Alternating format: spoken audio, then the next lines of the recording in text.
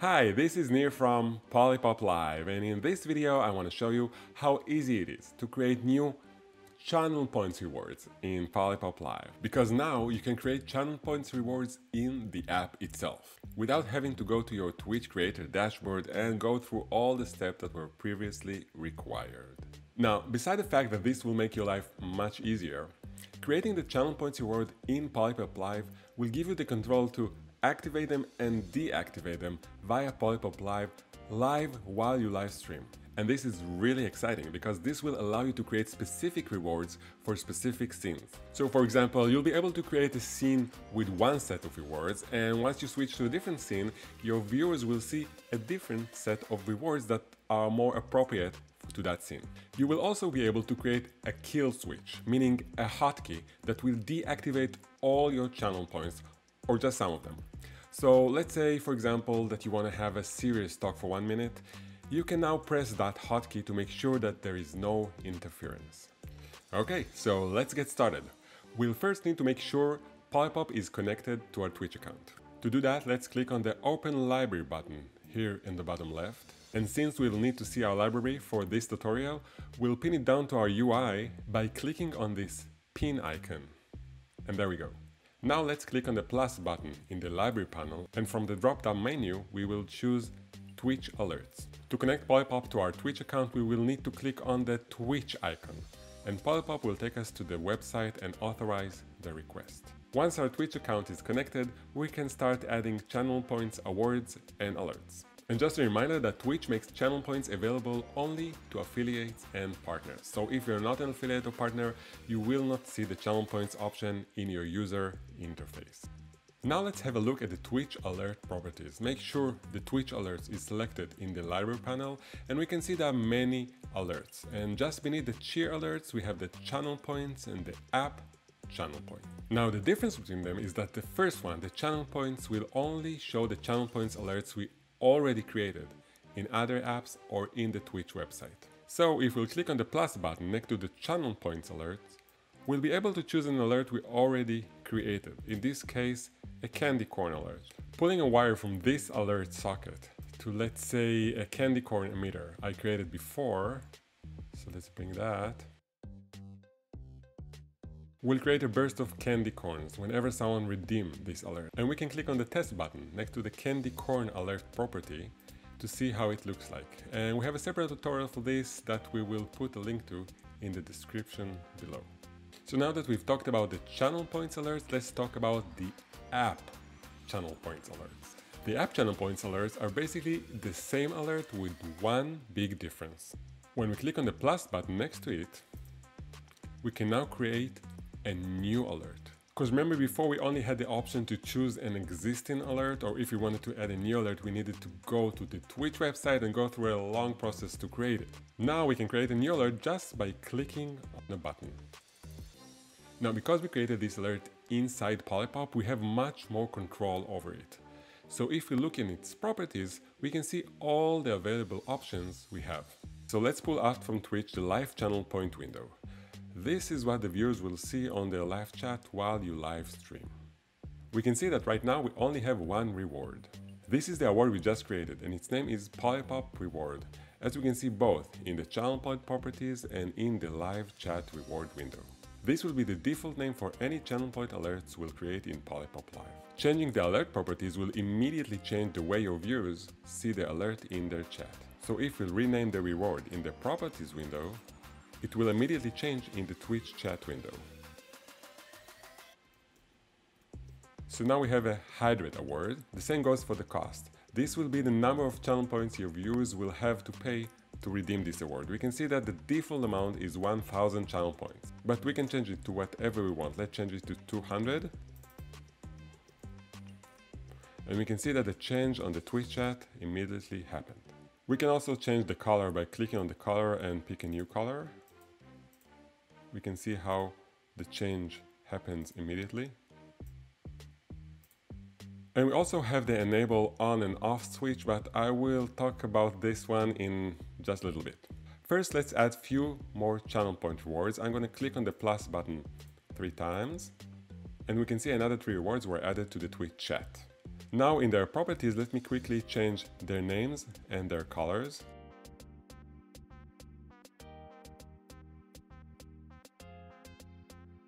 So now we have four different channel point rewards, but remember that in order for these rewards to actually do something on your live stream, you will need to connect them to an alert. So let me just quickly remind you how to do that. Let's pull a wire from the send love on redeem socket. Pulling a wire will show us the action sequence here in the middle. I will connect the wire to the action sequence socket. Let's give the action sequence a name by double clicking the name and type a new one. Now, since this is a send love channel point, let's make it emit some 3D hearts. To do that, we will click on the plus button here in the scene layout, go to the 3D objects category, I will select the heart 2 and add it as a 3D object emitter. We now have a heart 2 3D object emitter layer in our scene layout. Selecting it will show us its properties let's change the lifetime from infinite to 3 seconds. In our action sequence, let's click on the plus button, add emit alert, pull a wire from that alert and connect it to emit burst. So now if we click on the test button next to the send love channel point rewards alert, we can see that these hearts are being emitted.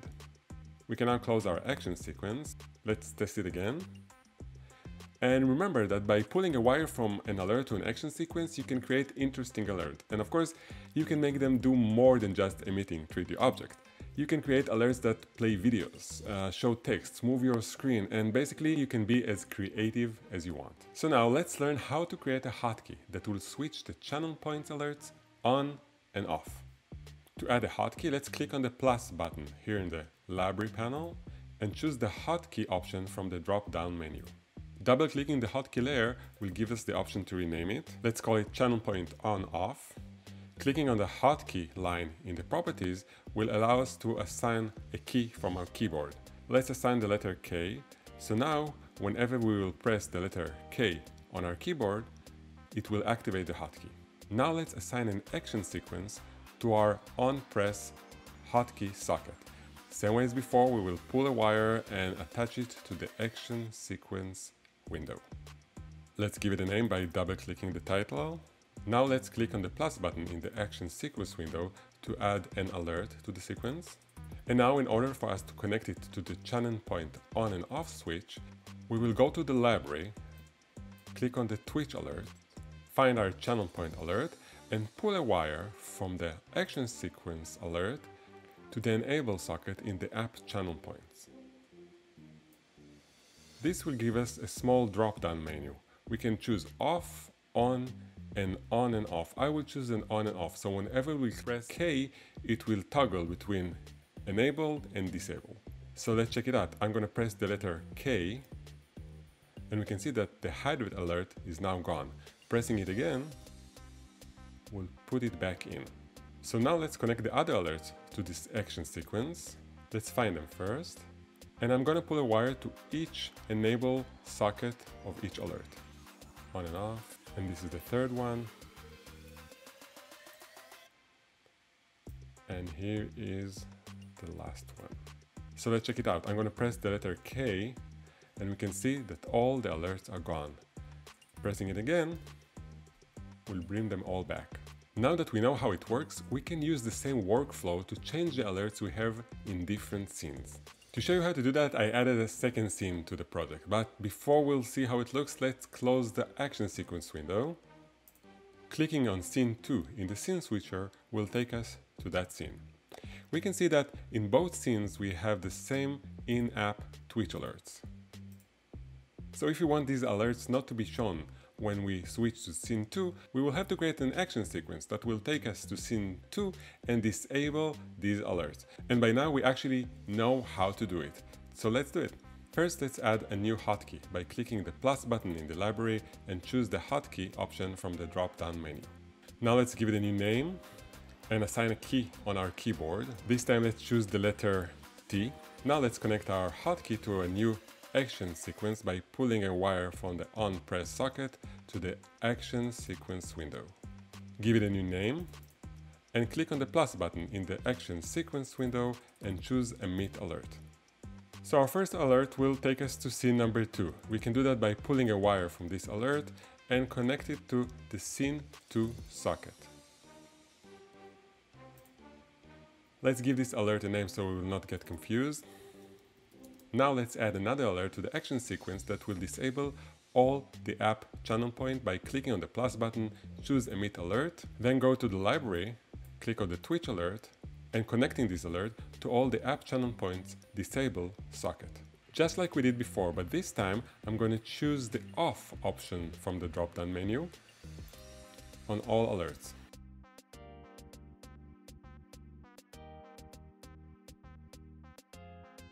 So now let's test it. I'm gonna press the T key on my keyboard and if everything works correctly, it will take us to scene number 2 and turn off all the channel points. So let's press T.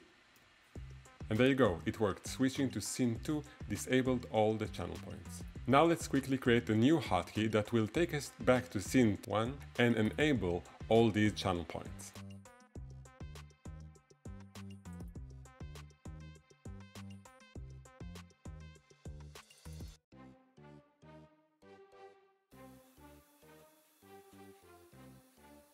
Okay, so I just created a new hotkey. Pressing on it will take us to scene 1 and enable all the channel points.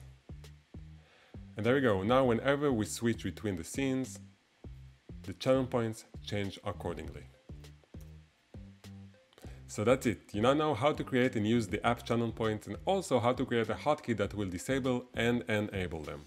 It's also important to note that if you have different live streaming shows, you can now use different app channel points for each show separately and you don't even have to worry about it because your viewers will only see the channel points of the show you're using. So for example, if you have one setup for when you play, let's say Minecraft and another for Fortnite, you can add different channel points to each project and when you open that project, your viewers will only see the channel point of that show. And that gives you a lot of flexibility and an easy workflow because now you will not have to go to your Twitch dashboard before each stream and organize it and your viewers will see only the relevant channel points when you live stream. Thank you for watching and I'll see you next time.